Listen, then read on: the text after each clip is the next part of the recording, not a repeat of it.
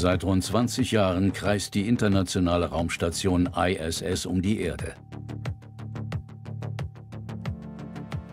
Sie ist absolut einzigartig. Das gigantische Flugobjekt rast mit 28.000 Kilometern pro Stunde durchs All. Ein permanenter Außenposten im Weltraum.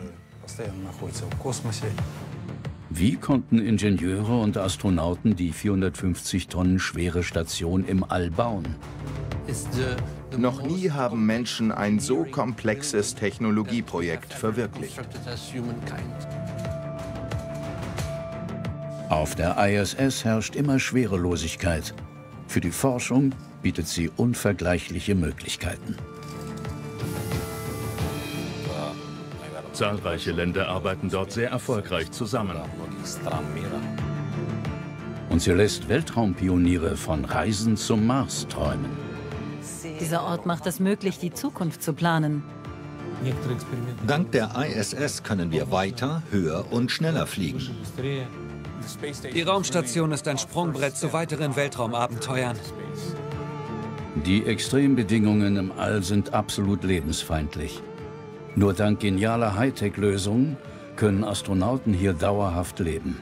Fast so wie zu Hause auf der Erde. Hier drin ist es so eng wie in einer Telefonzelle, aber gemütlich.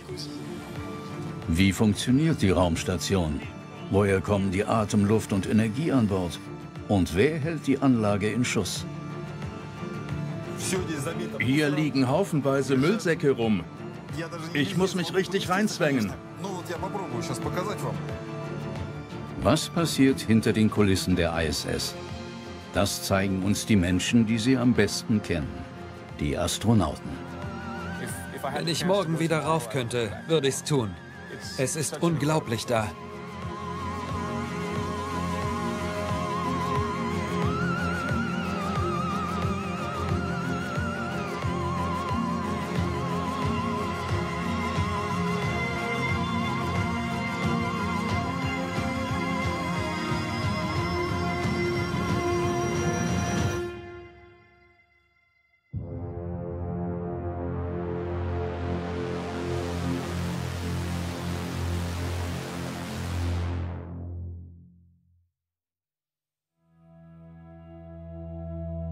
Lange Zeit haben Menschen davon geträumt, die Erde zu verlassen und ins All zu fliegen. Auf die ersten Raketenflüge folgten die Mondlandung und schließlich bemannte Raumstationen. Rund 400 Kilometer über dem Erdboden ist mit der ISS ein dauerhaft bewohnter Posten im All entstanden. Das fast 110 Meter lange und mehr als 70 Meter breite Stahlmonster ist das Ergebnis von internationalem Know-how. Die USA, Russland, Kanada, Europa und Japan haben die Station gemeinsam in den Orbit gebracht. Die ISS ist ein gigantischer Bausatz. Jedes einzelne Modul wird auf der Erde hergestellt und dann ins All geschickt.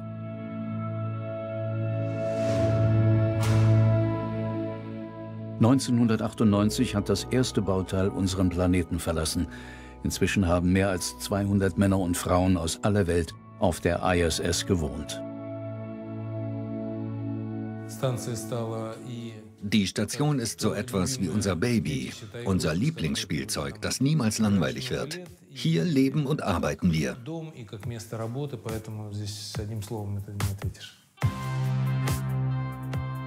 Der Flug zur ISS ist keine Erholungsreise. Beim Start der russischen Soyuz-Raketen müssen die Raumfahrer Belastungen bis zu 10 G aushalten. Das Zehnfache der Gravitationskraft auf der Erde. Nach rund sechs Stunden docken sie an. Zuerst sieht man nur einen hellen Punkt, wie einen Stern am Himmel. Dieser Punkt wird dann immer größer, je näher man kommt, bis man schließlich die großen Sonnenflügel der Raumstation erkennt. Ein Anblick, der selbst erfahrene Raumfahrer immer wieder staunen lässt.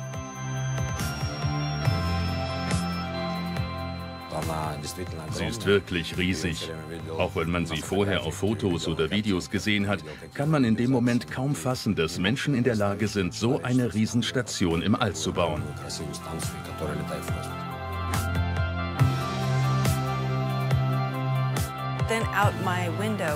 Aus meinem Fenster konnte ich die Solarmodule und Wärmeabstrahler sehen. Alles, was entlang unserer Einflugschneise aufragte.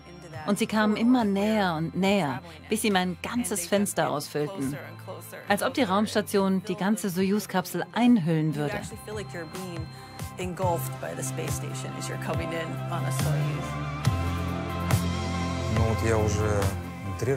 Ich war schon dreimal auf der Raumstation.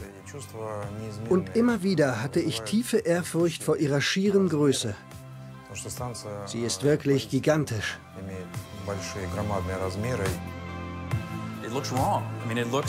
Es sieht irgendwie falsch aus. Alles wirkt wie nicht von dieser Welt. Auf der einen Seite ist das Licht total grell und wenn man auf die andere Seite kommt, die nicht von der Sonne angeleuchtet wird, ist plötzlich alles pechschwarz.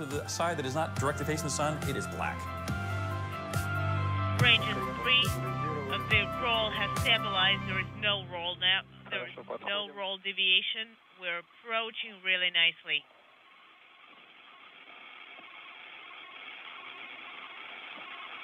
Yes, Contact confirmed. And probe retraction confirmed. Docking confirmed. A textbook arrival for the brand new Soyuz MSO-1 spacecraft. Docking confirmed at 11:06 p.m. Central Time. You're going from this incredibly cramped. Aus der unglaublich engen Soyuz-Kapsel muss man in eine Druckschleuse, die noch enger ist. Erst durch die Soyuz-Luke und dann durch die Luke der ISS.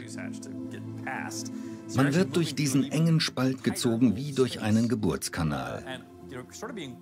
Die Crew-Kollegen helfen dabei wie ein Arzt bei der Entbindung. Und dann erst kommt man in die eigentliche Raumstation.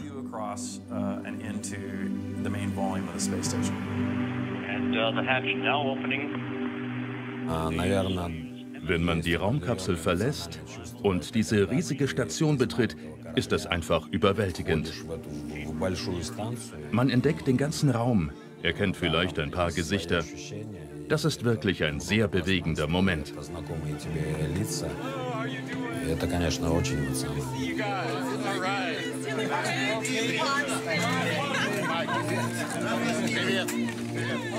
Der Platz an Bord der ISS entspricht etwa einem Haus mit sechs Schlafzimmern. Sechs Astronauten bilden die Besatzung. Jeder bleibt im Schnitt ein halbes Jahr. Für die Neuankömmlinge sind die ersten Tage oft ziemlich verwirrend, denn trotz jahrelangen Trainings haben sie sich auf eines nur annäherungsweise vorbereiten können, die Schwerelosigkeit. Man bewegt sich auf einmal entlang dreier Achsen und da sind all diese Vorrichtungen, über einem, unter einem, links, rechts. Am Anfang ist es ganz schön schwierig, sich zu orientieren.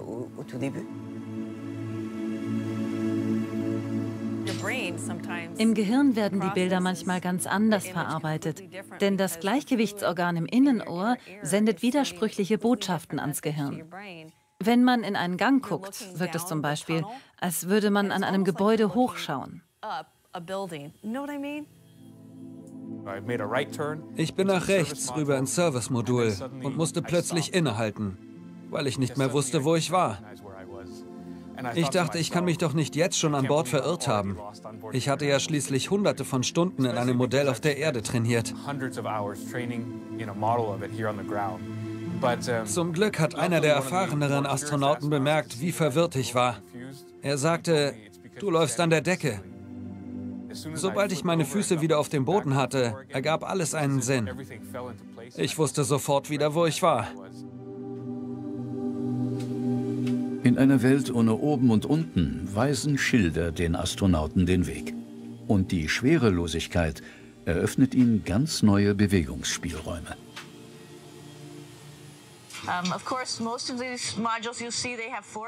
Die meisten Module haben vier Seiten und sind so konzipiert, dass wir an allen arbeiten können. An den Wänden, dem Boden oder an der Decke. Man muss sich nur drehen und die Bezugspunkte ändern sich.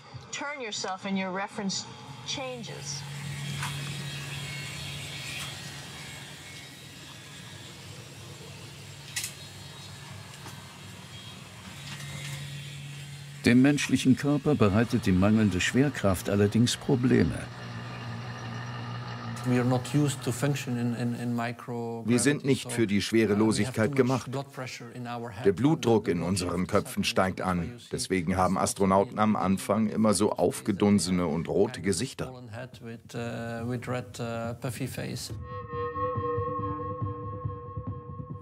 Der Grund dafür ist die Verteilung der Körperflüssigkeiten.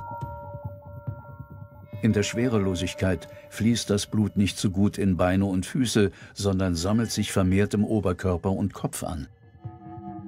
Die Blutgefäße im Gesicht schwellen an.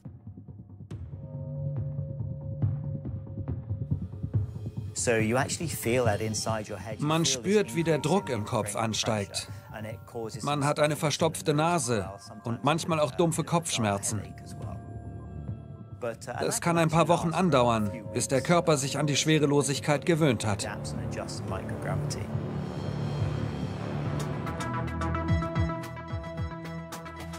Aber die ISS ist nicht einfach eine fliegende Wohnung im Orbit. Sie ist ein Weltraumlabor der Spitzenklasse. Mehr als 1700 Experimente wurden hier in den letzten 20 Jahren durchgeführt. Die USA, Japan und die Europäische Weltraumbehörde haben je ein eigenes Forschungsmodul. Destiny, Kibo und Columbus. Die Schwerelosigkeit im Innern und das Vakuum außerhalb der Station bieten hervorragende Bedingungen für etliche wissenschaftliche Versuche. Auf der Erde lassen sich solche Bedingungen nur in Ansätzen simulieren.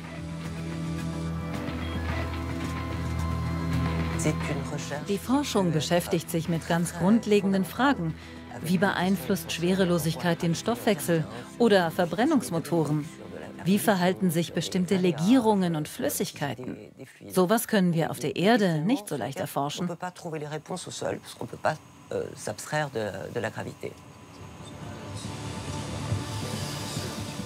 Die Experimente decken ein breites Spektrum ab. Von Biologie, Medizin und Astronomie bis zur Materialforschung und Erdbeobachtung. Einige Ergebnisse haben bereits zur Entwicklung neuartiger Werkstoffe und Medikamente geführt. Einen ständig bewohnten Posten im All zu haben, kann auch für künftige bemannte Raummissionen zu anderen Planeten nützlich sein. Die Experimente liefern nicht nur wichtige Erkenntnisse, manche werden uns auch helfen, weiter, höher und schneller zu fliegen. Beim sogenannten Veggie-Experiment hat die ISS-Crew erfolgreich Salat im Orbit gezüchtet. Eine gute Voraussetzung für Langzeitmissionen im All. Raumfahrer könnten sich selbst mit frischen Lebensmitteln versorgen.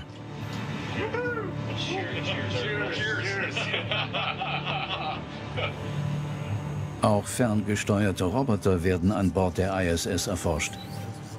In ein paar Jahren könnten sie beim Bau neuer Stationen helfen oder selbstständig Experimente durchführen. Ein weiterer Schritt in Richtung Mars. Das Besondere an diesem Joystick ist, dass ich die Kraft, die der Roboter ausübt, fühlen kann. Daraus lässt sich vielleicht irgendwann ein sogenannter Exoskelettarm konstruieren, den man am Körper trägt. Wenn man seinen eigenen Arm bewegt, macht der Roboter die Bewegung mit und sendet gleichzeitig eine Art Feedback. So kann man die Kraft des Roboters spüren und kontrollieren.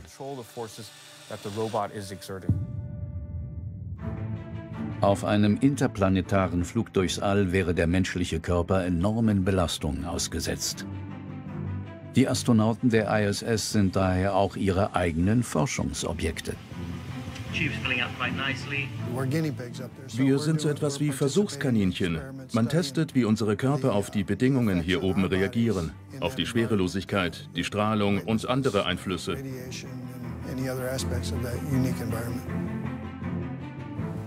Untersuchungen haben gezeigt, dass 75 Prozent der Astronauten bei Langzeitaufenthalten im All unter Sehstörungen leiden. Lange Zeit machte man den verstärkten Blutfluss zum Kopf dafür verantwortlich. Aber auch die Gehirn- und Rückenmarksflüssigkeit könnte eine Rolle dabei spielen.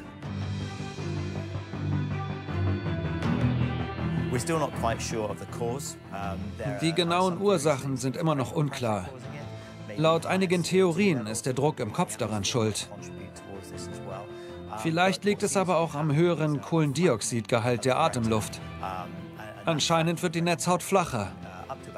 Die Folge ist Kurzsichtigkeit. Der menschliche Körper ist erstaunlich anpassungsfähig. Und das ist Fluch und Segen zugleich. In der Schwerelosigkeit werden die Körper der Astronauten länger. Bis zu sieben Zentimeter können sie wachsen. Ich staune immer wieder, wie gut sich Menschen an neue Umweltbedingungen gewöhnen können. Wenn wir dauerhaft in der Schwerelosigkeit leben würden, würden sich unsere Körper verändern. Der Herzmuskel würde schwächer, die Knochendichte nehme ab, genau wie die Muskelmasse. Und innerhalb kurzer Zeit wäre unser Körper super angepasst an die Schwerelosigkeit. Die Quittung kommt, wenn man nach sechs Monaten im Orbit zur Erde zurückkehrt. Dann kriegt man die Schwerkraft im buchstäblichen Sinn zu spüren. Das war wirklich ein Schock. Nach meinem ersten Einsatz konnte ich kaum glauben, wie schwer meine Arme waren. Und sogar meine Eingeweide. Das klingt vielleicht komisch, aber ich konnte meine inneren Organe fühlen. Und die waren ganz schön schwer.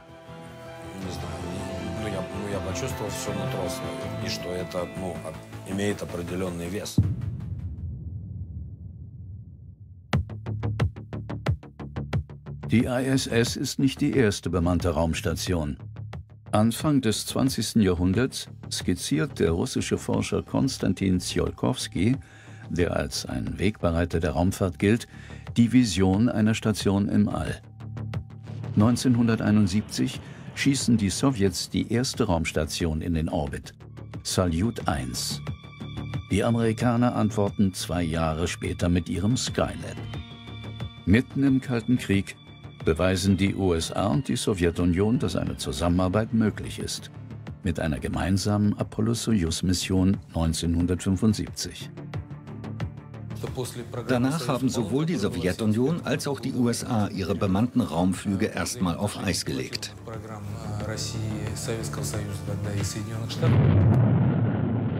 Mitte der 80er Jahre ist Schluss mit der Kooperation. Die Amerikaner haben ihr Shuttle und die Sowjets haben mit ihrer Raumstation Mir bei der bemannten Raumfahrt die Nase vorn. Die USA planen eine eigene Station, Wegen der enormen Kosten holen sie Partner aus Kanada, Japan und Europa an Bord. Nach dem Zusammenbruch des Ostblocks steigt auch Russland mit ein.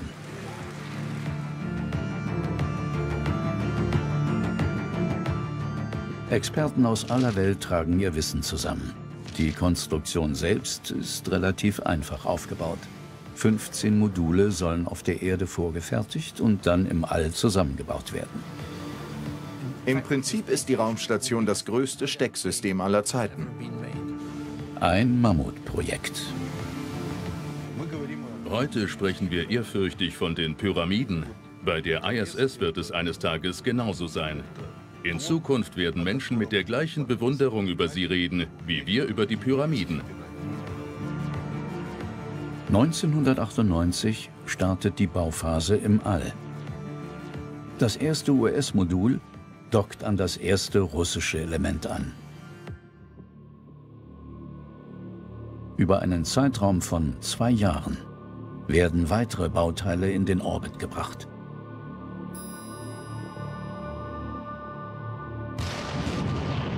Am 2. November 2000 zieht der russische Kosmonaut Sergei Krikaljov zusammen mit zwei weiteren Besatzungsmitgliedern auf der ISS ein.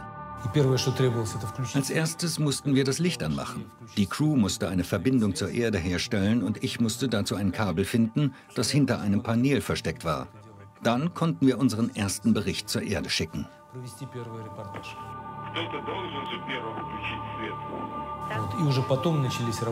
Danach haben wir die Service-Module aktiviert.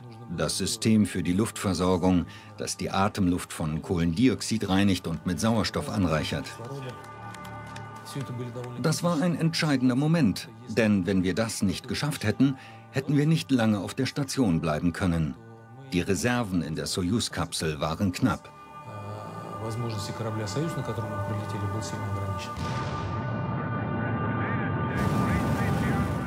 Mit über 115 Raumflügen werden Bauteile und Crews ins All gebracht.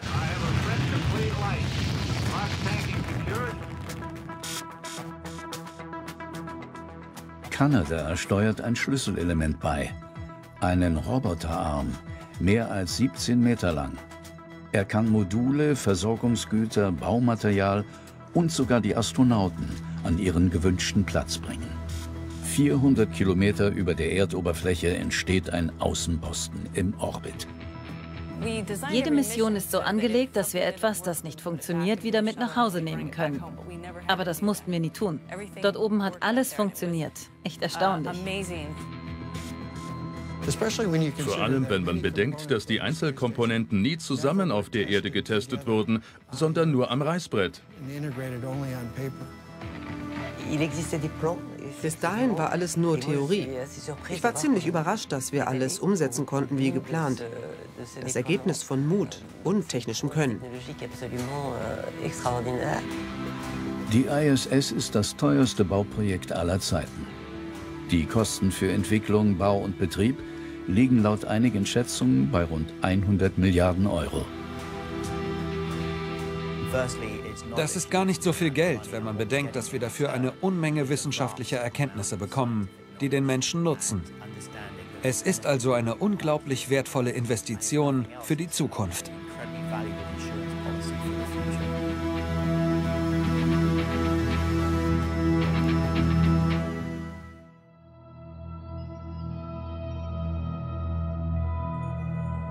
Auf der Erde ist der fliegende Koloss manchmal als funkelnder Punkt am Himmel zu sehen.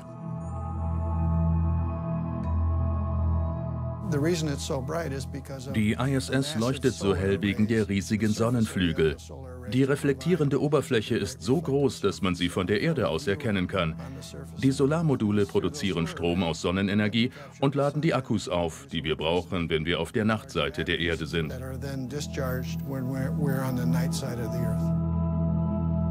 Voll ausgefahren hat jedes Solarmodul eine Spannweite von 73 Metern. Alle acht sind permanent zur Sonne hin ausgerichtet. Fast 33.000 Solarzellen auf jedem Flügel fangen die Energie ein. Die Flügel sind leicht abgeknickt. Während wir um die Erde kreisen, kippt die ISS um 4 Grad pro Minute. Und die Sonnenflügel tun das Gleiche, damit sie immer zur Sonne schauen. Und dann haben wir noch den sogenannten Beta-Winkel, der sich aus der ISS-Flugebene und der Linie zwischen Erde und Sonne ergibt. Dafür haben die Solarmodule spezielle Gelenke. Die Computer verfolgen den Sonnenstand und passen die Flügel entsprechend an. Die Solarmodule der ISS könnten genug Strom für 40 Haushalte liefern. Für die ISS-Crew ist diese Energiequelle überlebenswichtig. Es wäre eine absolute Katastrophe für die Station, wenn es plötzlich keinen Strom mehr gäbe. Für den Notfall haben wir natürlich Akkus und auch die Soyuz-Kapseln haben Solarbatterien.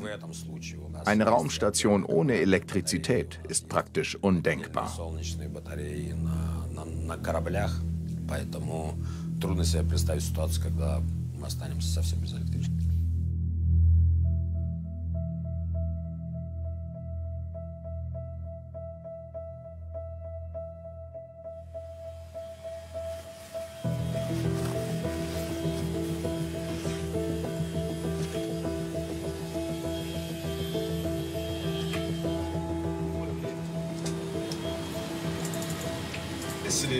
Das sind die Mannschaftsquartiere. Hier drüben sind vier. Ich zeige Ihnen mal meins. Da vorne steht mein Name dran.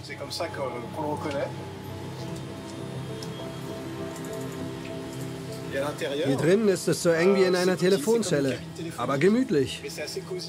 Mit dem Computer kann ich meiner Familie E-Mails schicken oder skypen. Ich habe auch noch ein Tablet hier drin und Sachen, die ich für die Arbeit brauche. Das alles kann ich dank der Schwerelosigkeit einfach an die Wand pappen. Hier habe ich meinen sehr bequemen Schlafsack. Er ist an der Wand befestigt, damit ich nicht wegschwebe oder irgendwo gegenhaue. In der Schwerelosigkeit zu schlafen ist echt bequem.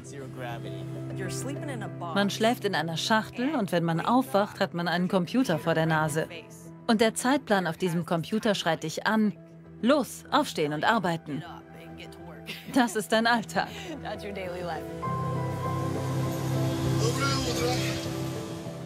Wir stehen auf und machen uns fertig für die Arbeit. Ganz normal.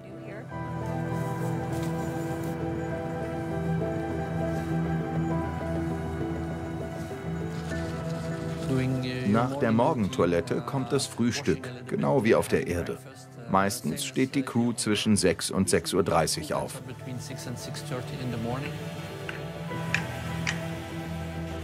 Zu essen gibt es meist dehydrierte Lebensmittel. Die sind einfacher zu transportieren und sparen Platz in der Speisekammer. Das Kaffeepäckchen ist mit heißem Wasser gefüllt. Jetzt braucht man nur noch einen Plastikstrohhalm. Öffnet den Verschluss und trinkt. Nach dem Morgenkaffee checkt man als erstes die Parameter der Station und erstattet dem Kontrollzentrum Bericht. Man erzählt, wie alles läuft und wie es einem geht. Und dann gibt es einem die Bodenstation manchmal Sonderaufgaben, die den Tagesplan etwas durcheinander bringen.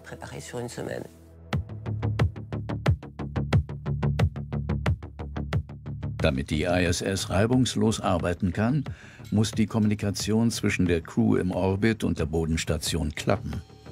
Im Hauptquartier der NASA in Houston sind die Mitarbeiter fast ständig in Kontakt mit den Astronauten. Viele Systeme an Bord werden vom Kontrollzentrum aus ferngesteuert. Wenn man zum Beispiel eine Pumpe einschalten will, muss man erst mehrere Computerfenster aufrufen und dann einen Befehl eingeben. Für die Crew ist das natürlich nervig, aber wir sind dafür ausgebildet. Die ISS wird vom Boden aus geflogen, von Kontrollzentren rund um die Welt. Wir haben zahlreiche Mitarbeiter, die für verschiedene Systeme zuständig sind. Nicht nur in Houston, sondern auch in Russland, Deutschland und Japan. Rund um die Welt arbeiten wir für ein gemeinsames Ziel.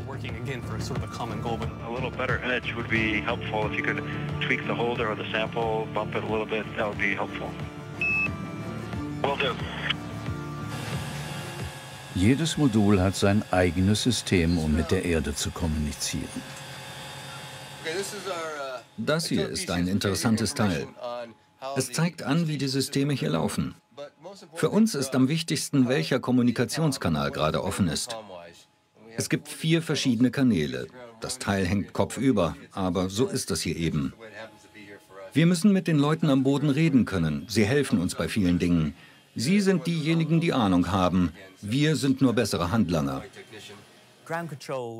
Das Kontrollzentrum nutzt Sprachsteuerung und elektronische Steuerung für die ISS. Vorwiegend über Satelliten, die weiter oben kreisen.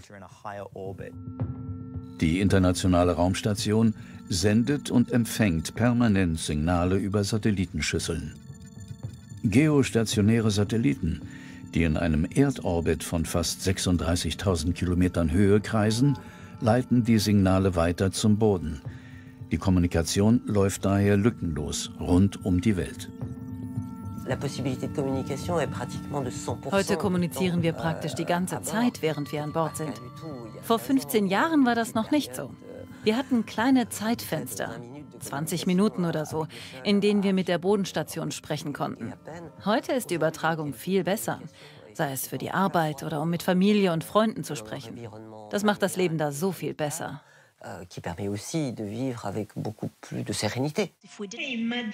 Dank der verbesserten Kommunikationstechnik können die Astronauten ihre Eindrücke nun auch mit dem Rest der Welt teilen.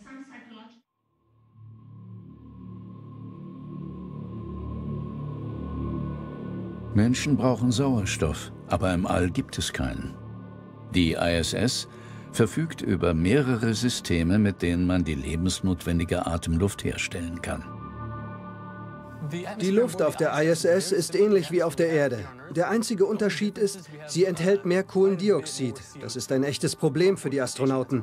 Meine Aufgabe ist es, Sauerstoff herzustellen, über die sogenannte Oxygen Generation Assembly, kurz OGA. Man nimmt Wasser, H2O, und spaltet per Elektrolyse den Wasserstoff vom Sauerstoff. Ein Teil des Sauerstoffs wird im russischen Modul hergestellt. Wir sind hier im Service-Modul. Es ist nicht sehr groß, aber wichtig.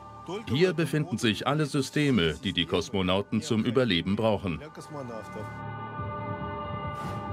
Durch Tanks mit aufbereitetem Wasser wird Strom geleitet. Dabei werden die H2O-Moleküle aufgespalten in Wasserstoff und Sauerstoff. Diesen Vorgang nennt man Elektrolyse. Den Sauerstoff aus dem Wasser nutzen wir für die Atemluft der Crew.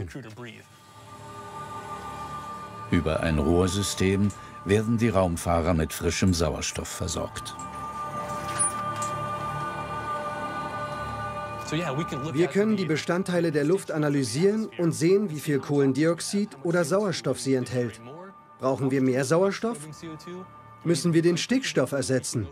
Wir kontrollieren hier viele Datenströme. Sauerstoff zu produzieren ist eine Sache. Die Luft darf sich aber auch nirgendwo stauen. Hightech-Ventilatoren sorgen für frischen Wind. Ohne Belüftungssystem, das die Atemluft verwirbelt, würden sich an manchen Stellen Sauerstoff- oder Kohlendioxidblasen bilden. Im schlimmsten Fall könnte das am Mund passieren, während man schläft. Dann würde man ersticken. Wasser wird auf der ISS also nicht nur zum Trinken und Waschen gebraucht, sondern auch um zu atmen. Als im Jahr 2000 die erste Besatzung auf der Station einzog, hat sie das Wasser in Beuteln von der Erde mitgebracht. Auch heute noch bringen Versorgungsraketen frisches Wasser ins All aber um den Bedarf an Bord zu decken, muss es wieder aufbereitet werden.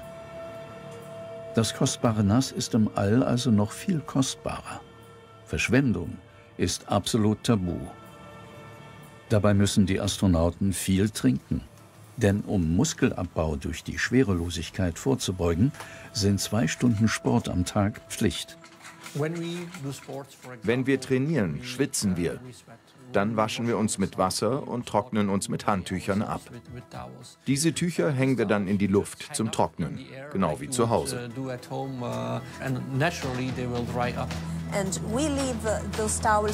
Hier hinter diesem Gitter ist unsere Lüftung. Da hängen wir die Handtücher zum Trocknen hin. Dort wird das Wasser dann zurückgewonnen. Es verdunstet und kommt durch die Klimaanlage in unsere Wasseraufbereitungsanlage. So wird daraus wieder Trinkwasser.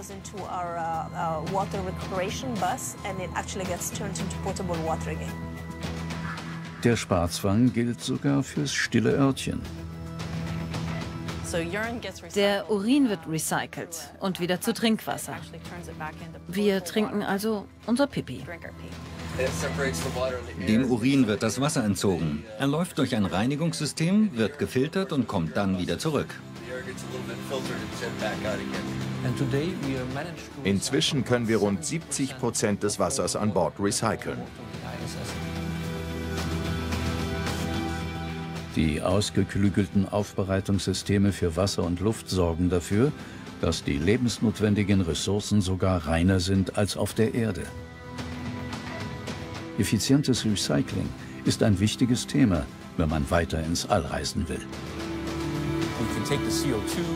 Wir können aus dem Kohlendioxid in der Atemluft und dem Wasserstoff aus der Elektrolyse neues Wasser herstellen und daraus dann wieder neuen Sauerstoff. Als Nebenprodukt erhalten wir Methan. Auf der ISS wird das als Abfall betrachtet und ins All abgelassen. Aber theoretisch könnte man diesen Prozess zum Beispiel auf dem Mars auch nutzen, um Raketentreibstoff für den Rückflug herzustellen.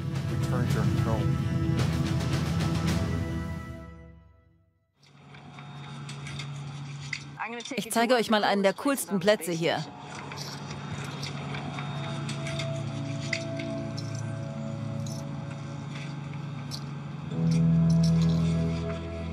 Am Ende des Tranquility-Moduls liegt der Ort, von dem jeder auf der ISS schwärmt.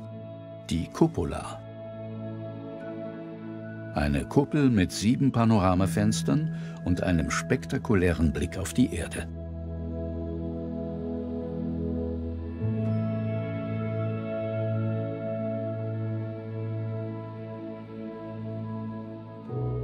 Die ISS umrundet die Erde etwa alle 90 Minuten, insgesamt 16 Mal am Tag. Ihre Flugbahn deckt 85 Prozent der Erdoberfläche ab. Ein Top-Aussichtspunkt für die Wissenschaftler.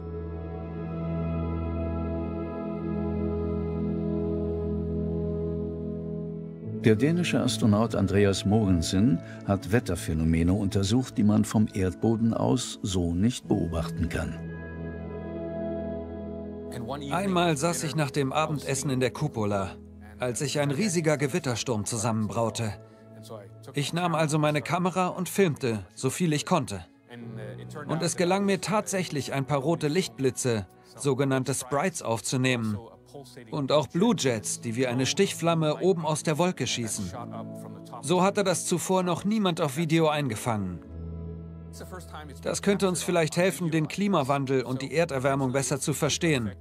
Denn es beschreibt einen Mechanismus, bei dem Gase, zum Beispiel Wasserdampf, von der Troposphäre bis in die Stratosphäre gelangen.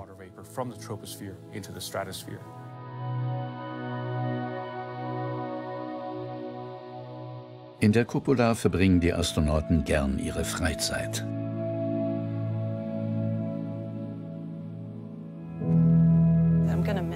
Ich werde die Kuppel vermissen. Ich kam jeden Abend für eine Erdumrundung hierher. Mir war von Anfang an klar, dass das geborgte Zeit war. Das ist ein bewegender Anblick. Man könnte stundenlang aus dem Fenster schauen, denn die Erde dreht sich ständig weiter. Erst sieht man nur das große Ganze.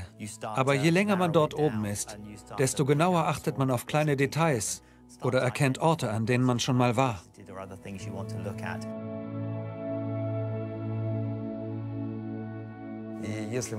Falls wir einmal wirklich zu anderen Planeten reisen, wird es ziemlich hart, wenn wir die Erde nicht mehr sehen können. Denn auf der Raumstation schauen wir immer zur Erde, sobald wir frei haben. Das Staunen, das der Anblick der Erde bei den Raumfahrern auslöst, wird Overview-Effekt genannt. Eine tiefe Ehrfurcht und ein Gefühl der Verantwortung für unseren Planeten.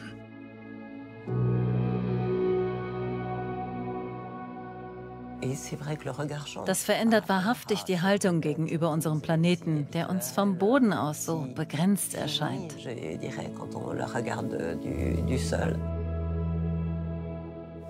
Die Erde ist ein einzigartiger Organismus. Von hier oben kann man keine Staatsgrenzen erkennen, aber sehr wohl die Grenzen des Elends. Man sieht Umweltkatastrophen, Flächenbrände und manchmal hat man das Gefühl, dass die Erde uns um Hilfe anfleht. Es ist wie in einem Film, wo sich die Kamera rückwärts bewegt und gleichzeitig den Hauptdarsteller heranzoomt, in diesem Fall die Erde. Die Größe verändert sich nicht, aber die Realität haut voll rein. Bei mir hat das eine körperliche Reaktion ausgelöst, wie ich sie noch nie hatte. So etwas wie, okay, ich hab's kapiert.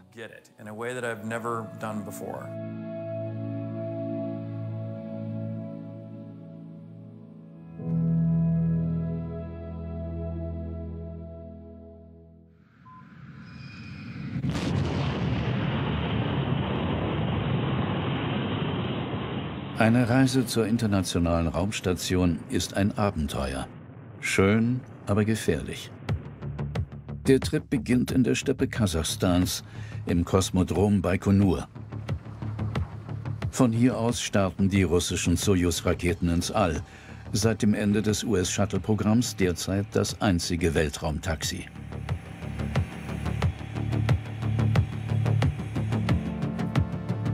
Der Flug zur ISS dauert sechs Stunden. An Bord ist Platz für drei Personen. Beim Start sitzen die Raumfahrer zusammengepfercht in der engen Landekapsel. Sie ermöglicht ihnen später auch die Rückkehr zur Erde. Wenn die Kapsel eine Erdumlaufbahn erreicht, kann die Crew in das etwas geräumigere Orbitalmodul umziehen und sich strecken. Am hinteren Ende des Raumschiffs befindet sich das Servicemodul mit dem Antrieb und der Steuerung.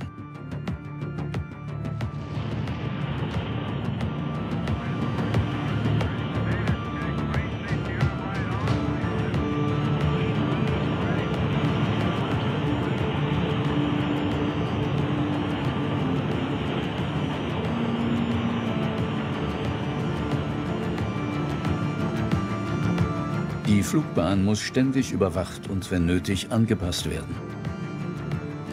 Wenn die Kapsel die Umlaufbahn der ISS erreicht hat, nähert sie sich der Raumstation und das Andockmanöver beginnt.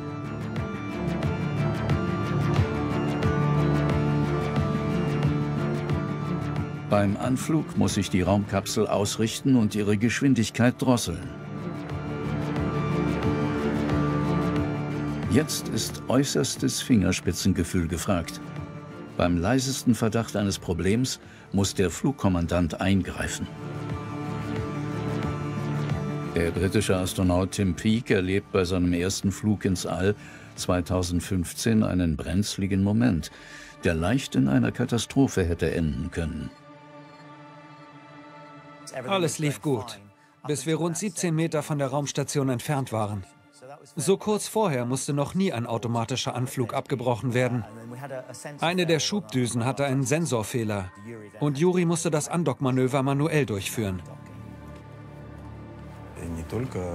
Die Sicherheit der Station hing vom Erfolg dieses Andockmanövers ab. Die ISS ist kein Gebilde aus einem Guss. Sie besteht aus vielen Teilen, die ins All ragen. Eine Kollision hätte fatale Folgen. Nicht nur für die Crew an Bord der Soyuz-Kapsel, sondern auch für die Besatzung der Raumstation.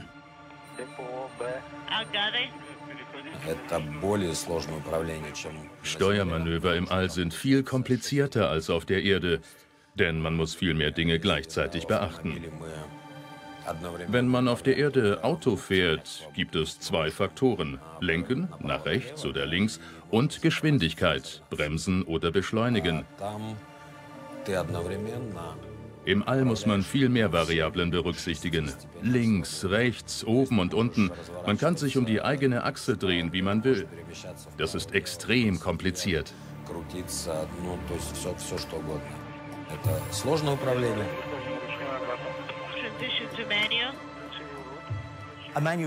Manuell anzudocken ist ohnehin eine heikle Angelegenheit. Und in unserem Fall war es noch komplizierter. Denn wir flogen gerade vom Tag in die Nacht und die Sonne stand so tief, dass sie ein gleißendes Licht von der ISS zurückwarf. Juri konnte durch sein Periskop also kaum was sehen, geschweige denn unser Raumfahrzeug in die richtige Position bringen. Es war sehr schwierig, aber schließlich habe ich eine Position gefunden, von der aus ich den Dockingport sehen, die Geschwindigkeit reduzieren und den richtigen Winkel treffen konnte, dann hat das Andocken geklappt.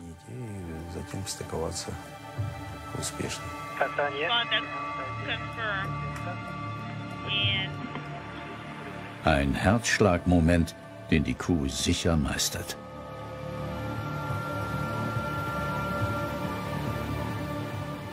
Ins Weltraumgeschäft drängen inzwischen immer mehr private Unternehmen. In Zusammenarbeit mit der NASA bieten Firmen Versorgungsflüge zur ISS an.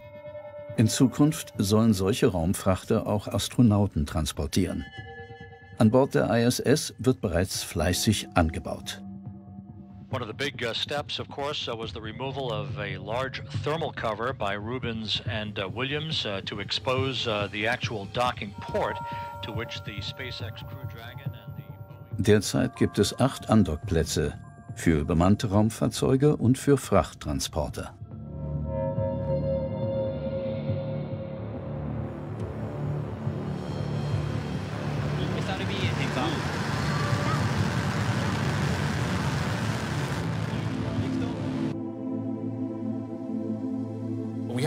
Hier kommen viele unbemannte Versorgungsflüge an.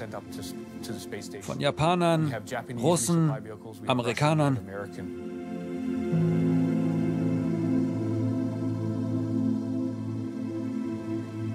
Alle drei Monate bekommt die Crew der ISS Nachschub.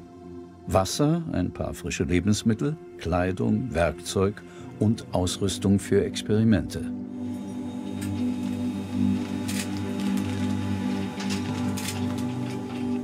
Wenn die Frachter entladen sind, werden sie einfach umfunktioniert zu fliegenden Müllwagen. Die Raumstation ist ein geschlossenes System. Alles, was hochgebracht wird, muss auch wieder runter. Kleidung zum Beispiel. Wir haben ja keine Waschmaschine an Bord, wir tragen also immer dasselbe. Jeder hat zwei Hosen für ein halbes Jahr. T-Shirts müssen eine oder zwei Wochen lang getragen werden. Und wenn sie dann wirklich dreckig sind, kommen sie mit all dem anderen Abfall in den Raumfrachter. Ich zeige Ihnen mal unseren Raumtransporter Progress. Vollgepackt und fertig zum Abflug. Hier sind haufenweise Müllsäcke drin. Ich muss mich richtig reinzwängen. Alles ist symmetrisch angeordnet, damit der Frachter ausbalanciert ist. Schweres liegt Schwerem gegenüber. Hier drüben sind Reinigungsmodule und benutzte Eimer, unsere Schmutzwäsche und die kleinen Beutel mit unseren Hinterlassenschaften. Die vollbeladenen Raumfrachter legen ab und fliegen Richtung Erde. Beim Eintritt in die Erdatmosphäre verglühen sie. Davor erweisen manche Versorgungskapseln der ISS aber noch einen anderen Dienst. Sie geben der Station einen Schubs, um sie auf der richtigen Umlaufbahn zu halten. Die ISS soll immer 400 Kilometer über dem Erdboden fliegen. Man könnte eigentlich annehmen, dass die Station niemals beschleunigen muss, denn es gibt ja keinen Luftwiderstand, der sie abbremst. Tatsächlich ist die ISS aber noch von einem kleinen Rest Atmosphäre umgeben, kaum wahrnehmbar. Aber sie ist da. Und wenn so ein Fußballfeld großes Ding durchs All saust, machen sich selbst solche Mini-Luftmengen bemerkbar. Die ISS wird dadurch ganz langsam abgebremst. Die ISS sinkt pro Monat um zwei Kilometer. Ohne Anschubser würde sie irgendwann wieder in die Erdatmosphäre eintreten. Alle sechs Monate wird der Orbit der ISS mit Hilfe eines Versorgungsraumschiffs korrigiert. Durch den Schub aus dessen Triebwerken gewinnt die Station wieder an Höhe. Die Bahnanhebung kann man im Innern der Raumstation spüren. Ich zeige das mal anhand dieser Kamera. Sie hat ein 800 mm Objektiv, ist also ganz schön massiv. Momentan gibt es keine Beschleunigung. Die Kamera schwebt einfach still im Raum. Jetzt halte ich sie mal fest, denn ich spüre schon den Schub. Und es geht los. Ich passe auf, dass du sie nicht abkriegst. Nicht nur die Bahnhöhe muss reguliert werden. Es kommt auch auf den richtigen Winkel an. Die Raumstation ist nach einem speziellen Koordinatensystem ausgerichtet. Lokal vertikal, lokal horizontal. Die Unterseite der ISS zeigt immer Richtung Erde. Vier Stabilisierungskreisel, sogenannte Gyroskope, halten die ISS auf Position. Sonst würde die Station mit Vollgas durchs All trudeln. Ich habe hier einen, einen Kreisel in meiner Hand. Im Moment rotiert er noch nicht. Und ihr seht, er verhält sich ja wie jedes andere Objekt hier im Weltraum. Er schwebt so vor sich hin und ich kann ihn anstoßen und drehen in jede beliebige Richtung. Er ist ziemlich instabil eigentlich.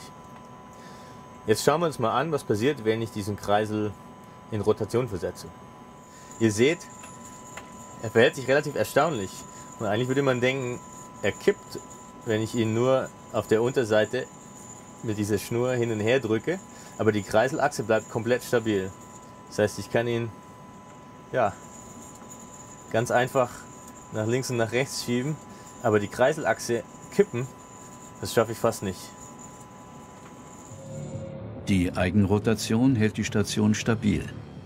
Aber die Kreiselachse muss stetig angepasst werden, damit die ISS auf ihrer Flugbahn der Erdrundung folgen kann. Dadurch können wir die Erde super beobachten. Deswegen zeigen die Fenster der Cupola auch immer in ihre Richtung.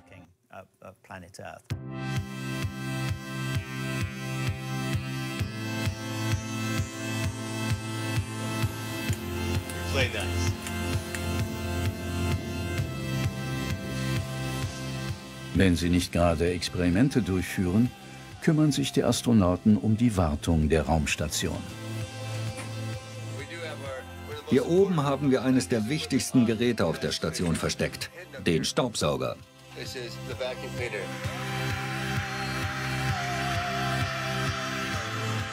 Obwohl ein Filtersystem die Atemluft von Teilchen und schädlichen Keimen befreit, müssen die Astronauten regelmäßig gründlich putzen. So haben Bakterien keine Chance. Und die Crew findet längst verloren geglaubte Dinge wieder.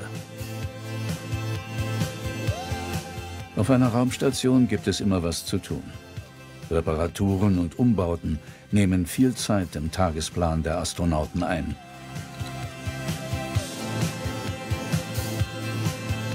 Trotz aller Vorsichtsmaßnahmen gibt es ab und zu Pannen. Und manchmal kann es dabei ziemlich brenzlig werden. Die US-Astronautin Tracy Dyson erlebte im Juli 2010 kurz vor dem Schlafengehen einen Schockmoment.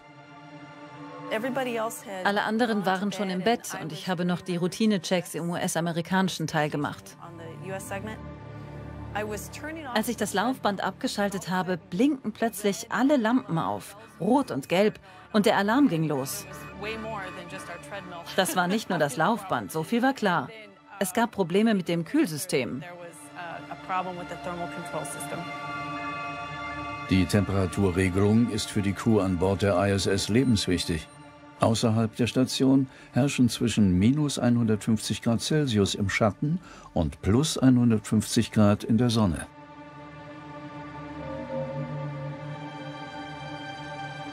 Im Inneren produzieren die elektronischen Geräte, vor allem die Computer, reichlich Wärme. Sie kann nicht entweichen und muss durch ein Kühlsystem reguliert werden. Kühlmittel fließen in mehreren Kreisläufen durch die ganze Station. Der US-amerikanische Teil wird mit Wasser gekühlt.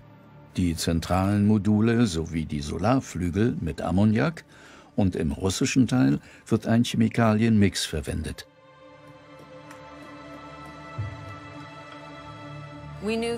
Das Schlimmste, was uns zu dem Zeitpunkt hätte passieren können, wäre, das zweite Pumpenmodul auch noch zu verlieren. Dann hätten wir ernsthaft überlegen müssen, heimzufliegen. Auch das Team im Bodenkontrollzentrum erkennt den Ernst der Lage. Die Ammoniakpumpe ist kaputt und muss bei einem Außenbordeinsatz ersetzt werden.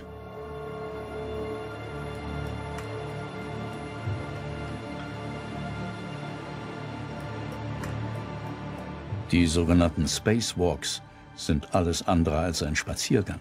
Alles muss wie am Schnürchen klappen. Und das erfordert akribische Planung. Sowas muss man tagelang peinlich genau vorbereiten. Ein Fehler könnte schlimme Folgen haben.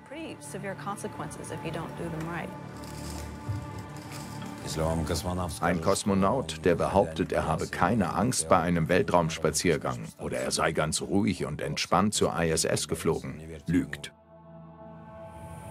Für Außeneinsätze gibt es zwei Druckschleusen an Bord. Eine auf der russischen und eine auf der amerikanischen Seite.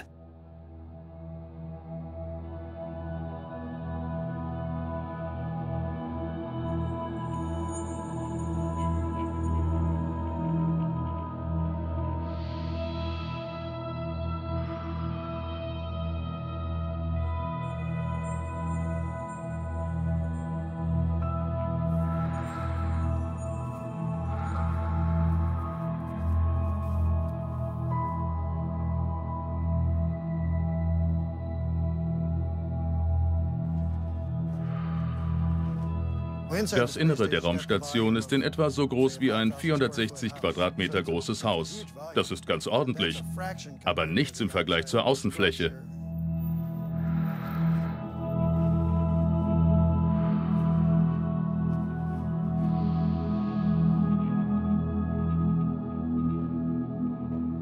Die Bedingungen im All sind tödlich. Es gibt keinen Sauerstoff. Der Körper muss extreme Temperaturen, winzige Mikrometeorite und kosmische Strahlen aushalten. Das geht nur mit einem Hightech-Raumanzug. Der Raumanzug ist ein technisches Meisterwerk. Er hält dich am Leben, wie deine eigene kleine Raumstation. Der Schutz ist nicht billig. Ein Raumanzug kostet 12 Millionen Dollar. Er besteht aus einem Helm mit Spezialvisier, um die Augen vor dem gleißenden Sonnenlicht zu schützen. Wo es dunkel ist, sorgen leistungsstarke Lampen für Licht. Und eine eingebaute Kamera sendet Aufnahmen zum Boden. Über einen Trinkhalm können die Astronauten Wasser trinken. Per Kopfhörer und Mikrofon kommunizieren sie mit den Kollegen an Bord und am Boden. An der Vorderseite befinden sich die Regler für Sauerstoffzufuhr und Temperatur. Unter dem Anzug tragen die Astronauten Kleidung, die von Plastikschläuchen durchzogen ist. Durch sie fließt kaltes Wasser, damit sie nicht überhitzen. Der Rucksack enthält Sauerstoff- und Wasserreserven sowie Akkus. Etwa acht Stunden kann ein Astronaut so überleben. Die 130 Kilo Gewicht spüren die Astronauten in der Schwerelosigkeit nicht. Trotzdem kostet es enorme Kraft, sich in so einem Ungetüm zu bewegen. 90 Prozent der Außenarbeiten macht man mit den Händen und Armen. In dem Druckanzug ist es sogar schon anstrengend, die Finger in den steifen Handschuhen zu bewegen. Jedes Öffnen und Schließen der Hand ist mühsam. Ein Außeneinsatz erfordert äußerste Konzentration. Die lebensfeindliche Umgebung verzeiht keine Fehler. Die Arbeit im All strengt körperlich und geistig enorm an. Also du kämpfst nicht nur bei jeder Bewegung gegen den Druck im Anzug an, sondern musst dich auch die ganze Zeit absolut konzentrieren. So ein Spacewalk dauert sechseinhalb bis acht Stunden, ohne Pause. Und man steckt die ganze Zeit in diesem Anzug.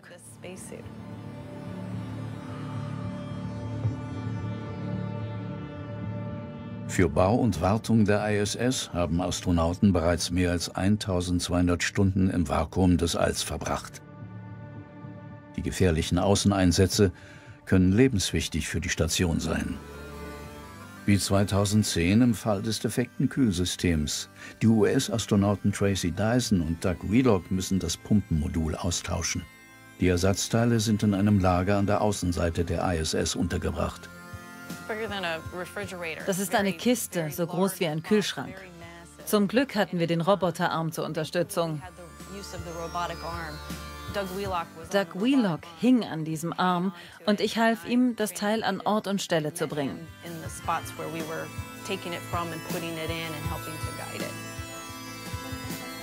Um den defekten Kühlkreislauf wieder zum Laufen zu bringen, müssen die beiden Weltraumklempner insgesamt dreimal ausrücken. Dann konnte die Bodenstation das Kühlsystem wieder hochfahren. Wir haben die Raumstation gerettet. Nicht übel, was? How about that?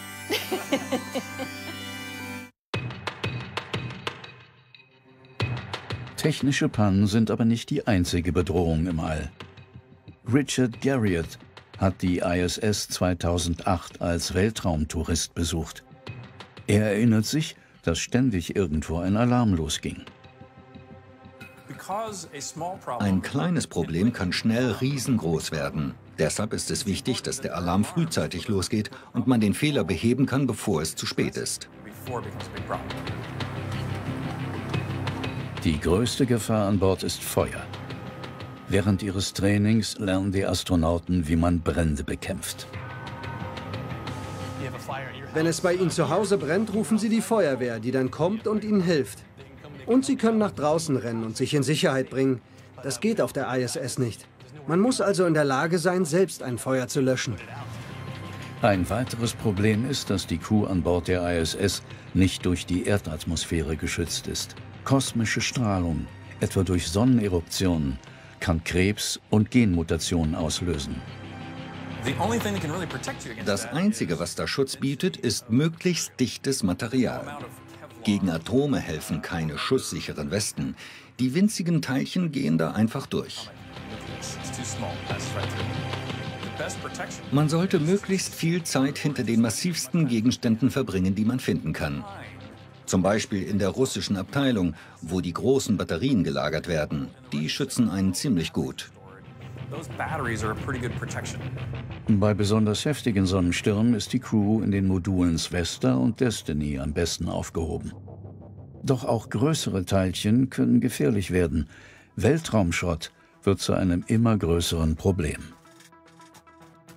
Wenn man durch ein 10 oder fast 20 Jahre altes Fenster schaut, sieht man kleine Kerben, verursacht durch winzige Schrottpartikel wie Lacksplitter. Bei einer Geschwindigkeit von rund 28.000 Kilometern pro Stunde gibt das einen ganz schönen Schlag. Schon ein etwa 1 cm großes Objekt könnte ein Loch in den Rumpf der Station reißen. Der Druckabfall könnte die Astronauten töten.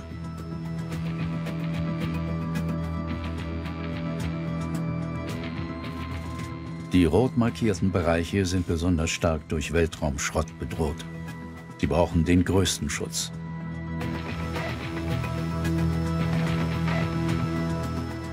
Eine Schicht aus Aluminium soll die Schrottpartikel erstmal abbremsen.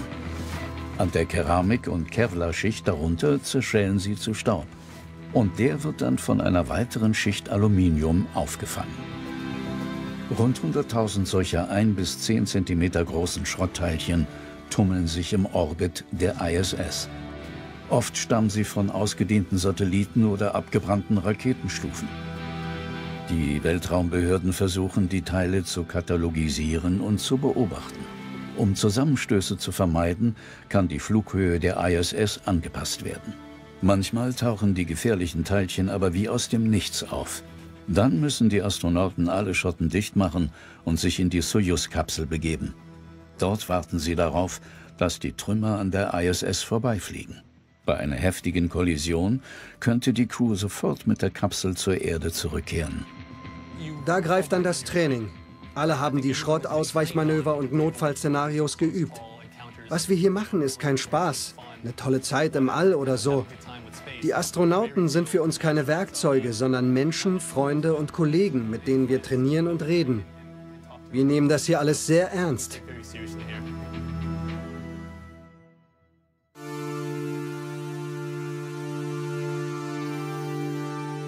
Seit rund 20 Jahren steht die ISS im Dienst der Menschheit.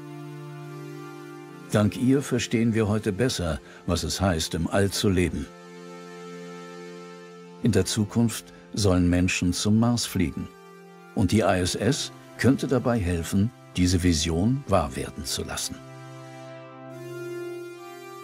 Ich stimme Konstantin Tsiolkovsky da voll zu.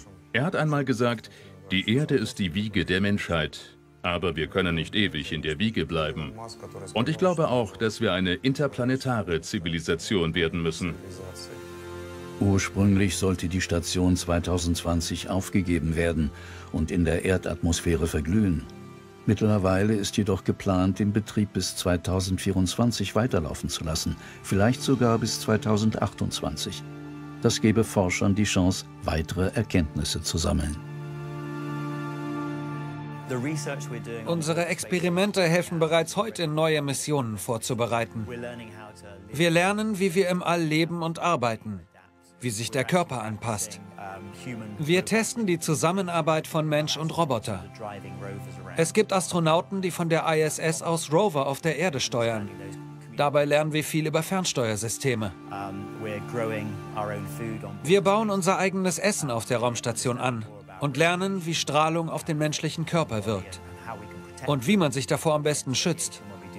Was wir heute an Bord der ISS erforschen, hilft uns morgen auf dem Weg zum Mars.